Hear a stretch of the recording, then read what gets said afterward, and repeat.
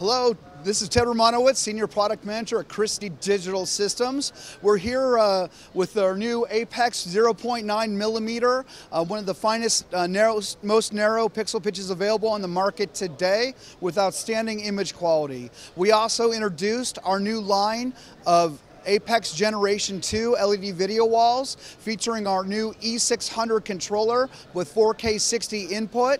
We also have a companion FE600 fiber optic adapt uh, fiber uh, extender which allows you to extend the signal up to 10 kilometers or 6 miles over single mode fiber.